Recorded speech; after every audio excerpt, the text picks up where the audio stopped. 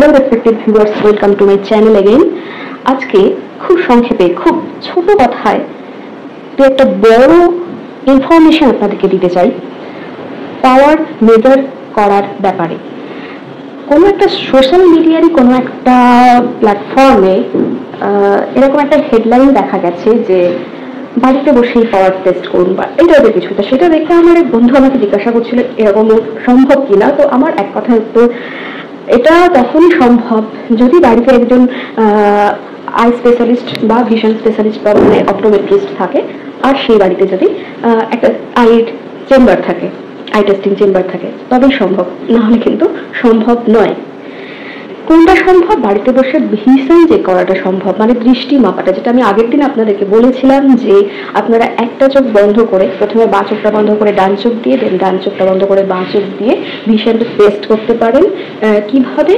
তাও যদি অ্যাপ্রক্সিমেট রেজাল্টটা চান, সেক্ষেত্রে ওই যে বলেছিলাম, ছ মিটার সিক্স মিটার হচ্ছে আইডিয়াল ডিস্টেন্স ওই ডিস্টেন্সটা থাকতে হবে, যেভাবেই হোক, ওই যেরকম একটা আয়না ব্যবহার করা হয় চেম্বারে, সেইভাবেই হোক বা যে কোনোভাবে ছ মিটার দূরত্ব থেকে বসে ওই পার্টিকুলার চারটা আপনাকে একটু মানে জোগাড় করে রাখতে হবে এবং ওই চারটা আপনাকে ছ মিটার দূরে বসে আপনি যদি দেখতে পান, তাহলে আপনি ভিজনটা নোট করতে পারেন যে আপনার ভিজন নর্মাল আছে না নেই। তাছাড়া পাওয়ার মাপার ক্ষেত্রে কিন্তু মানে পাওয়ার মাপাটা ব্লাড প্রেশার মাপার মতো অতটা ইজি ব্যাপার নয়। কারণ যদি এরকমও হয় যে আপনি পুরো লিগাল সায়েন্স গুলে খেয়েছেন, তাহলেও বেশ কিছু ক্রাইটেরিয়া না থাকলে, বেশ কিছু ইনস্ট্রুমেন্ট ম্যান্ডেটরিলি না থাকলে পাওয়ার মেজার করা যায় না। কোন কোন জিনিস ম্যান্ডেটরিলি থাকা দরকার? সবার প্রথমে রিজন মাপার চার্ট সেটা বটেই, ছ মিটার দূরত্ব সেটাও বটে। এবং most important is this box called trial lens box which is most mandatory for the measurement of power of eyes as well as for refraction. হ্যাঁ বন্ধুরা, ঠিকই শুনেছেন রিফ্র্যাকশন শব্দটা প্রথমবার ব্যবহার করেছিলাম সেকেন্ড পার্টে দৃষ্টি সংঘটিত হয়, বস্তুর ইমেজ চোখে তৈরি হয় রিফ্র্যাকশনের মাধ্যমে। আর কারেকশন অফ রিফ্র্যাক্টিভ এররকেও আমরা সংক্ষেপে রিফ্র্যাকশনই বলি এবং সত্যি সত্যি রিফ্র্যাকশনই ঘটে একটা বিশেষ ইনস্ট্রুমেন্টের সাহায্যে যখন পাওয়ারটা মেজার করা হয়। That instrument is stick retinoscope here এটার কথায় পরে আসছি। তার আগে আপনাদেরকে বলে নিই যে আপনারা অনেকেই চোখের চেম্বারে অপটিক্যালে যে কোনো জায়গায় গিয়ে মানে জিজ্ঞাসা করেন যে এখানে কি কম্পিউটারে চোখের পাওয়ার মাপা হয় বা কম্পিউটার চক্ষু পরীক্ষা করা হয় কিনা, এটা আপনাদের খুব কমন একটা কোয়েশ্চেন এখানে কম্পিউটার বলতে কোনো ল্যাপটপ ডেস্কটপ নয়। কম্পিউটারাইজড মেশিন যেটা, আপনারা জানেন সেই আসল ইনস্ট্রুমেন্টটা হলো অটো রিফ্রাক্টোমিটার এই যে আমার পিছন দিকে যে ইনস্ট্রুমেন্টটা দেখছেন, এটাই সেই ইনস্ট্রুমেন্ট যেখানে আমরা একটা রিডিং পাই পেশেন্টকে বসানো হয়, চোখটা রাখ- রাখতে বলা হয় পার্টিকুলার জায়গাটাতে, একটা চিন রেস্ট থাকে, পিছন দিকে, সেই চিন রেস্টে তো, আর সামনে এখানে স্ক্রিনে আর চোখে ছবিটা আসে।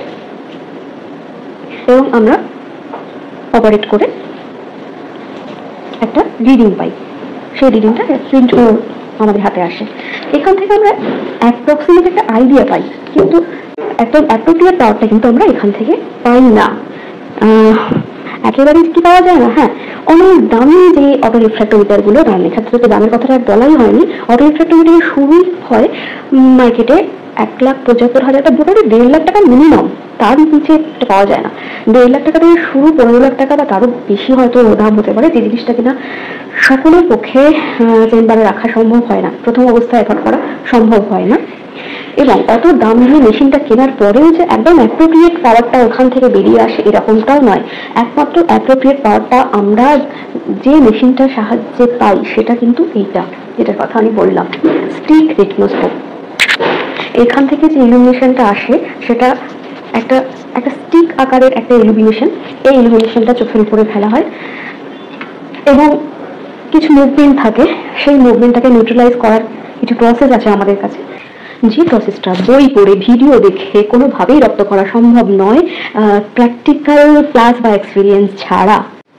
আমার কথা বিশ্বাস না হলে আপনারা কোনো সিনিয়র এফিসিয়েন্ট অপথালমোলজিস্ট বা অপটোমেট্রিস্টের কাছ থেকে জেনে নিতে পারেন যে পাওয়ার মাপার পাওয়ার মেজার করার সঠিক ইনস্ট্রুমেন্ট রেটিনোস্কোপ এটাই আপনাকে আপনার চোখের সঠিক রিফ্র্যাক্টিভ এররটা বলে দিতে পারে। বলে দিতে পারে যে এই অটো রিফ্র্যাক্টোমিটার সত্যি কথা বলছে কিনা। বলে দিতে পারে যে পেশেন্ট মানে আপনি যখন পেশেন্টের চেয়ারে বসছেন, তখন আমাকে সত্যি কথা বলছেন নাকি বিভ্রান্ত করার চেষ্টা করছেন? সবটাই কিন্তু আমি এই ইনস্ট্রুমেন্টটার সাহায্যে ধরে ফেলতে পারি। এবং এটাই মুভমেন্ট নিউট্রালাইজ করা থেকে কারও চোখে পাওয়ার আছে কিনা, থাকলে প্লাস আছে না মাইনাস আছে, কতটা আছে, সবটাই ধরা সম্ভব।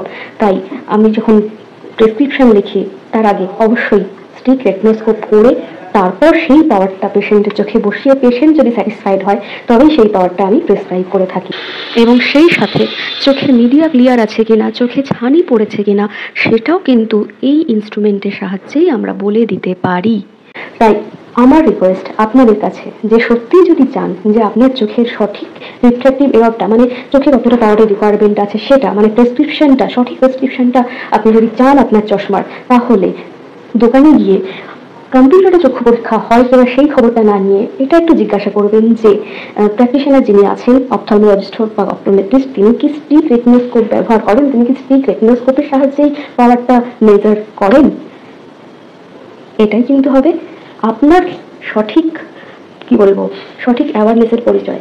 মানে আপনি যে সত্যি সত্যি সচেতন হয়েছেন, সেটা বোঝা যাবে তখনই যদি আপনি চেম্বারে গিয়ে এই ইনস্ট্রুমেন্টটার খোঁজ করেন। ইনস্ট্রুমেন্টের নাম আরেকবার বলে দিই স্পিক রেটিনোস্কোপ জানি না কতটা গুছিয়ে বলতে পারলাম, তবু চেষ্টা করলাম নিজের মতো করে। ভালো লাগলে আপনারা বলবেন, আপনার আপনাদের কী কী জানার আছে সেগুলো অবশ্যই আমাকে জানাবেন। আরও অনেক ইনফরমেটিভ ভিডিও নিয়ে আমি আবার আসব। আজকের মতো আসি। নমস্কার।